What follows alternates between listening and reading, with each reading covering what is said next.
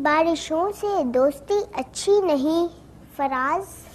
कच्चा तेरा मकान है कुछ तो ख्याल कर। अरे वाह। सुना है लोग उसे आँख भर के देखते वाह वाह वाह वाह। तो इसके शहर में कुछ दिन ठहर के देखते हैं। अगर वो बोले तो बातों से भूल झड़ते हैं।